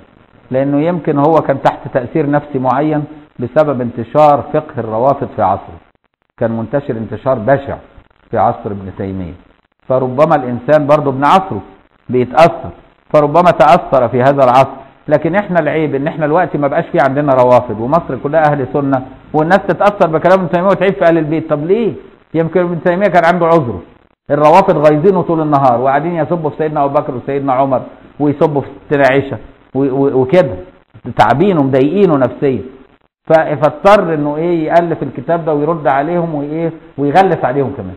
لدرجة إنه غلس عليهم بإنه بقى يعيب في أهل البيت. إحنا ملناش دعوة. إحنا مش معاه طبعا إن هو يعيب في البيت لأنه مالهمش ذنب إن الروافض بلغوا فيه. لكنه إحنا بنلتمس ليه العذر بتأثير النفسي لأن هو بني آدم بشر برضه يتأثر. لكن إحنا لا نلتمس العذر بتوع اليومين دول وما فيش روافض في مصر. ويعيبوا في أهل البيت ليه تعيب في أهل البيت يا ابني؟ يقول لك أصل ابن تيمية قال طب ابن تيمية كان عصره ليه ظروف؟ أنت غير الظروف دي. خدت بالك؟ بس. وقالوا إنهم لا أنا ما قلتش لما يحبوش سيدنا محمد لكن هم ما عندهمش أدب بس مع سيدنا محمد. ولا آل البيت. آه ما عندهمش أدب مع آل البيت. وأن الصوفيين هم فقط الذين يحبون ابدا ما قلتش كده. قلت كل المسلمين بتحب النبي. لكن الصوفية حبهم للنبي واضح قوي فأنا من قبل ما أدرس الصوفية حبيت الصوفية لحبهم في النبي والله. ربنا يعلم. من قبل ما أعرف إيه هو التصوف. الكلام ده من سنة 73 واخد بالك؟ قعدت مع دول ومع دول ومع دول. لقيت نفسي مشدود مع المتصوفة اللي بحق العلماء منهم. ليه؟ لأن لقيتهم حبهم للنبي واضح قوي. والتانيين حبهم للنبي مكتوم. فأنت تروح مع الحاجة المنورة قوي ولا الحاجة المكتومة؟ آه أنا اللي حصل. فأنا حبيت الجماعة دول علشان ربنا وقعني في إيد ناس ربنا كرمني إن أنا اتعلمت من الصوفية اللي هم علماء.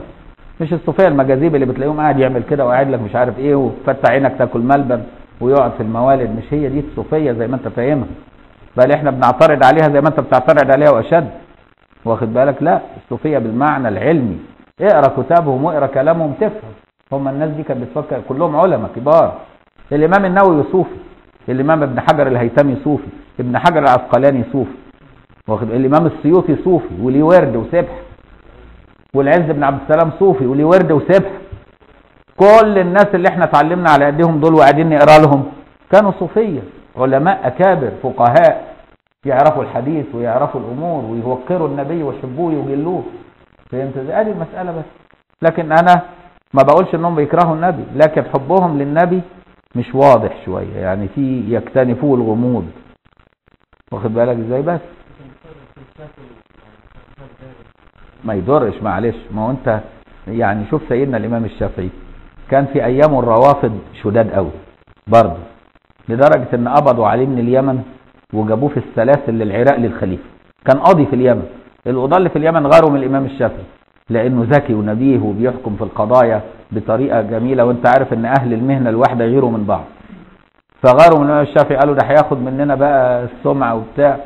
فواشوا عند الخليفة إنه من الروافض. علشان الخليفة يرفضه. فالخليفة بعت إيه؟ قال اقبضوا عليه وهاتوهولي فخدوا الإمام الشافعي في الحديد والسلاسل من اليمن للعراق لحد ما وصل عيان مريض لأنه كان سفر طويل. هو مقبوض عليه بقى. فالإمام الشافعي بالرغم من هذا قال إيه؟ قال إن كان حب آل محمد رفضا فليشهد الثقلين أني رافض. فهمت إزاي؟ قال كده. وقال لهم إيه؟ آل النبي وسيلتي وهم إليه ذريعتي بهم بهم أرجو آه بهم ألقى ربي غدا أرجو أن يغفر خطيئتي. أيوه أيوه. فشوف الإمام الشافعي لما لما بال بالعصر بتاعه إن هم في روافض كتير إنه هو ينكر حبه لآل البيت. هو بيحب آل البيت لكن ما بيعتبرهمش معصومين. ما بيقولش إن ربنا حل فيهم. ما بيقولش إن سيدنا علي كان أولى بالخلافة من سيدنا ما بيعيبش في سيدنا أبو بكر. فهمت إزاي؟ أدي المسألة يعني الواحد لازم يكون متزن. أدي كل الحكاية. يعني الناس بتسيء الأدب عند سيدنا الحسين يقبلوا العتبة ويعملوا مش عارف إيه ويعملوا إيه. أه طب سيدنا الحسين ذنبه إيه عيب فيه. فهمت إزاي؟ سيدنا الحسين ملوش ذنب. المسجد السيدة زينب حواليه مجاذيب كتير وشحاتين. طب السيدة زينب زمان لها إيه أنا أقعد أشتم في السيدة زينب عشان الشحاتين اللي قاعدين حواليها. طب هي ما ذنبها إيه؟ ملهاش ذنب. فهمت إزاي بقى؟ فالواحد لازم. ها؟ لا ده بيعيبوا بي- بيعيبوا في سيدنا السيد البدوي. انت ما قريتش ما قريتش كل كتابهم. ده يقول لك البدوي وزينب. ما يقولوش سيدنا السيد البدوي ولا يقولوا السيدة زينب. يقول لك البدوي وزينب. يقول لك مصريين عباد البدوي وزينب. يقولوها كده في السعودية. وأنا سمعتها أكثر من مرة. وأنا مش بغشك والله. والله قالوا كده قالوا على المصريين عباد البدوي وزينب أنا سمعتها أكثر من مرة. ها؟ ما أعرفش بقى علماء ولا مش هم لابسين غطره بتقول أرجو من سيادتكم عدم التهجم والتطاول على السلفيين. حاضر إن شاء الله. يا رب اعني على ذلك. وخصوصا أني أتذكر أنه في أول حديث لكم قررت أن الاختلاف في الرأي لا يخرجنا جميعا من الم... أنا ما قلتش إنهم خرجوا من الملة. فهمت إزاي؟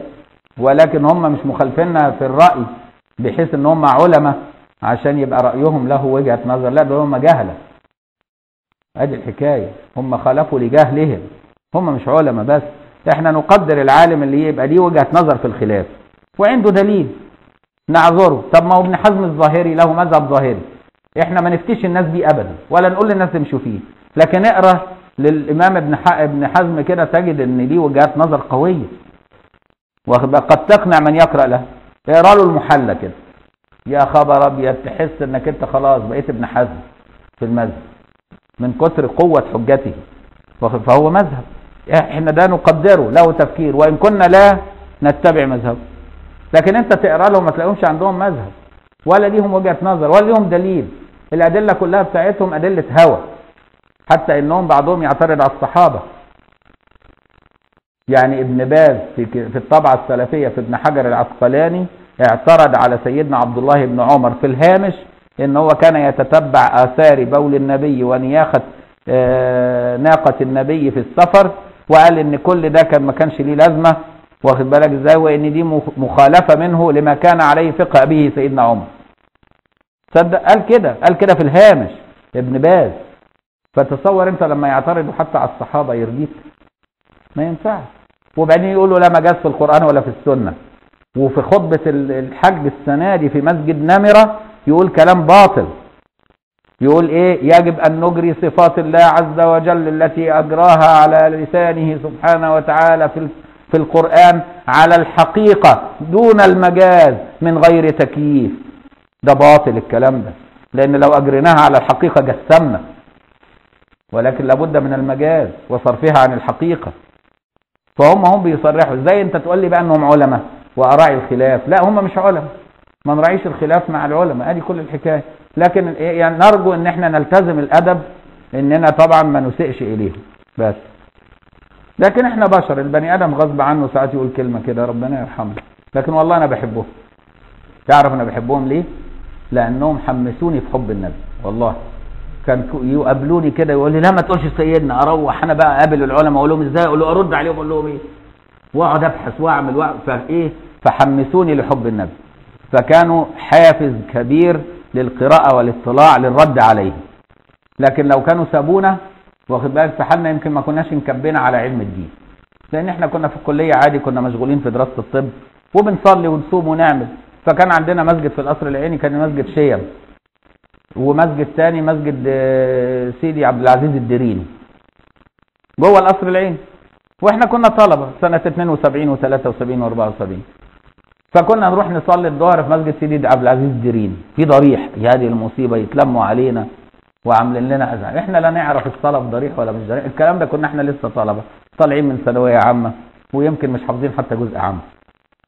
وبنحب ربنا وبنحب النبي وبنتوضى ونصلي وبنذاكر طب وعايزين نبقى دكاترة شاطرين. كل اللي في مخنا كده ساعتها. ما كانش في مخنا أي حاجة تانية. بصينا لقينا شوية الجماعة دول قاريين الكتب إياها اللي بيوزعوا عليهم ببلاش. وزمايلنا بقى هم. ويجيبوا لنا الكتب ويقلقونا. واوعى تصلي هنا. هنا شرك وهنا كفر وهنا مش عارف إيه وهنا إيه وهنا. وأنت مش مربي دقنك ليه؟ وأنت مش عارف إيه وأنت مش مقصر ثوبك ليه؟ وأنت ما تقولش إزاي بتقول يقعد يسمت عليا وأنا قاعد أقرأ التشهد. لحسن أقول سيدنا محمد اللهم صل على سيدنا محمد. يا عم ما تقول أنت الشهاده تبني في حالي يا عم. هو أنت يعني لو قلت سيدنا محمد مش هروق مش هحضر المحاضرة. هيوقفني بعد الصلاة نص ساعة على باب الجامع عشان ما أقولش سيدنا محمد. كانوا بيعملوا فينا كده وأكثر فبصينا لما عملوا فينا ويقول لي أين الله؟ أنت إزاي تعبد ربنا وما تعرفش هو فين؟ الله. ده اسمه كلام. لازم تقول ربنا في السماء. يعني إيه يا ابني؟ أنا الحكاية دي ما ينزل ربنا إلى السماء الدنيا نزول حقيقي. يلا مستقر على عرش مستوي على عرش استواء حقيقي. إيه ده؟ كلام كله ما كناش نعرفه ولا مجاز ولا حاجة فبصينا لقينا نفسنا رحنا راميين بقى الطب وقعدنا ندور على العلماء. آه والله بكلمك جد. درجة أبويا خاف عليا. بعد ما كنت طالع الأول في سنة أولى في في المية وطالع الثاني في سنة ثانية بقيت نمرة مية في سنة ثالثة في الدفعة في الترتيب. ليه بقى سنة ثالثة دي بقى؟ لقيت نفسي فضيت نفسي بقى وسبت المحاضرات وسبت الدنيا وقعدت ألف على العلماء بقى. ما أنا فاجئوني بحاجات أنا مش عارفها ومش عارف أرد عليهم ومش عارف أعمل إيه ومش عارف آجي أذاكر كلامهم يفضل يرن في مخي مش عارف أنا أحل المشكلة. طول عمري بصلي ومبسوط. قلقوني حتى في صلاة. واخد بالك؟ خلوني قصرت الثوب بتاعي وعملت بتاعه وبقيت ماشي كده بالثوب بتاعي عامل زي فؤاد المهندس. حاجات بقت غريبة. كنتش مربي دقني. خلوني ربيت دقني وبقيت ماشي كده اهو. كنت بحب اضحك وامتع خلوني كده متجاهل لأن اصل الضحك شرك. الله. يا ابني مش كده. فلقيت نفسي تعبان نفسيا حاية فبصيت لقيت نفسي بدور على العلماء في كل حتة في كل حتة. أسأل. مين اللي يعلمنا الدين يا جماعة؟ مين اللي يعلمنا؟ ربنا دلنا على العلماء. دلنا على الشيخ محمد الحافظ السجاني قرأنا عليه موطئ الإمام مالك. وربنا كرمنا. واخد بالك إزاي؟ وبعدين دلنا على الشيخ محمد نجيب المطيعي. حضرنا عليه البخاري وحضرنا عليه إحياء علوم الدين وحضرنا عليه قليوبي وعماير.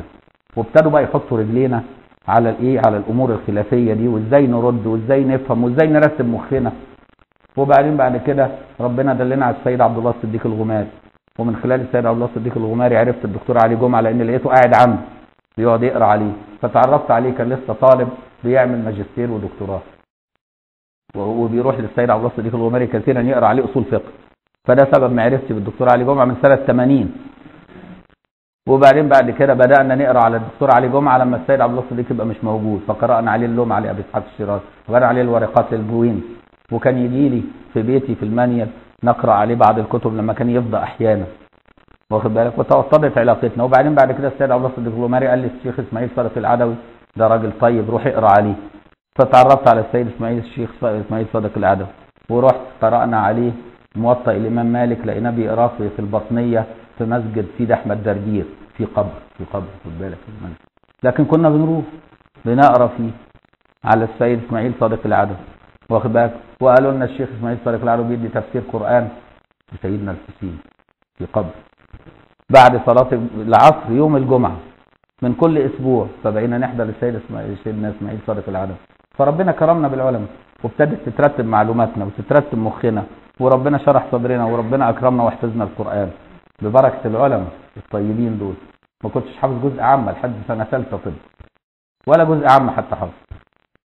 وبعدين ربنا كرمنا وختمنا القرآن وقرأنا وخدنا إجازات من العلماء وبعدين بعد ما خلصت دكتوراه جراحه ربنا كرمنا ودخلت كلية الشريعة وخدت ليسانس آه، شريعة إسلامية سنة 96 بس عشان آخد إجازة كده بقى والأزهر بقى علشان يبقى. بلد شهادات على رأي الجدع ده. فالواحد برضه حب ياخد شهادة. فكان الحافز جزاهم الله خير هم السلفيه لولا كده أنا كنت فضلت دكتور وبقيت معيد في القصر العيني زماني أستاذ في القصر العيني متعين وما أعرفش حاجة عن أي حاجة. وقاعد بقضي وقتي في النادي واخد بالك؟ وبعدين أروح العيادة وأروح أصيف في الساحل الشمالي. فهم غيروا مجرى حياتي جزاهم الله خير. دي الحقيقة. بسبب إيه؟ بسبب التنغيز ده. رايحين جايين ينغزوا فيه. واخد بالك؟ فجزاهم الله خير. هل إذا وقع برص في سائل هل ينجسه طبعا برص يا عم مات لو ما ماتش وجري كده طلع ما يجراش حاجة بس لو جالك نفس بقى تاكل. في واحد هنا كل نص برص. أنا عارفه مش هقول لكم إيه. كان بيجيب سندوتش جمبري. والله من محل فخم جدا وبعدين بياكل كده لقى طعم غريب فبيفتح لقى نص البرص أتاري النص التاني بلعه. فربنا ينجي يا سيدي. فما تأكلوش سندوتشات من بره أرجوك. بدل العك اللي بيحصل فيه. أنا أعرف واحد قبل كده من كام سنة قال لي أنا لقيت نفسي كلت نص صرصار. لا برضه حاجة تقرب بس. وهناك من يلقي هذا الطعام ولا يأكله فيوجد ضرر إذا أكل منه بعد نزع هذا البرص. والله لو نفسه تسمح والبرص ما ماتش ما يضرش. لكن لو كان مات لا نجسه خلاص. إذا وقع فأر في سائل غير متجمد أكثر من 200 لتر فهل يتنجس أيضا؟ لا لو وقع الفأر وعام وطلع ما يتنجسش لأن كل حي طاهر عندنا إلا الكلب والخنزير. فهمت إزاي؟ لكن لو مات فكل الميتات نجسة إلا ميتة الآدم. واخد بالك إزاي؟ وما وال وال والجراد والسمك. هي دي الميتات الطاهرة عند عندنا ده إحنا كده بس ما هو أكبر وأفضل كتاب لتخريج الأحاديث؟ ما أعرف. ما هو اسم الكتاب الذي أصل أكبر كتاب لازم أكون أنا استوعبت كل كتب تخريج الأحاديث عشان أقدر أقول. أنا أعرف بعض كتب تخريج الأحاديث لكن ما أعرفش أكبر كتاب. نسأل علماء الحديث. ما هو اسم الكتاب الذي جمع فيه الأحاديث التي اتخذها الإمام الشافعي دليل في مذهبه؟ بلوغ المرام للإمام ابن حجر العسقلاني في أدلة الأحكام. مطبوع وبيباع إمام مسجد س- إم- إمام سجد سجدة تلاوة وقام وركع مباشرة دون أن يقرأ شيء من القرآن. فهل عليه شيء؟ لا صحيح. يعني أنت قريت مثلا سورة اقرأ العلق آخرها سجدة تلاوة رحت نازل سجدة تلاوة قلت الله أكبر وبعدين قلت الله أكبر ركعت. صحيح. مش شرط تقرأ حاجة بعدها.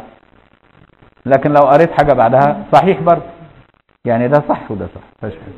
أنا عملتها مرة على فكرة عشان أعلم الناس. لا أي حتة. أي صورة بعدها. ولا يشترط الترتيب عندنا في القرآن. يعني ممكن بعد العلق أروح جايب النبأ. عم مش شرط القدر يعني. خليه بقى. التنكيس في داخل السورة عندنا في مذهبنا. التنكيس المنهي عنه أن يكون في داخل السورة يعني أبتدي في الركعة الأولى أقول آخر سورة البقرة والركعة الثانية أقول أول سورة البقرة. هو ده التنكيس اللي منهي عنه.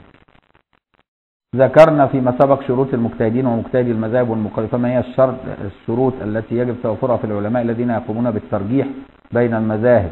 لا دي عايزة في عندي كتاب أجيبه لك يرد على الحتة دي اللي هي إيه؟ مين اللي بيرجح والله أعلم. إن الله وملائكته يصلون على النبي يا أيها الذين آمنوا صلوا عليه وسلموا تسليما. اللهم صل أفضل صلاة على أسعد مخلوقاتك سيدنا محمد وعلى آله وصحبه وسلم. عدد معلوماتك ومداد كلماتك كلما ذكرك الذاكرون. وغفر عن ذكري الغافلون. جزاكم الله خير.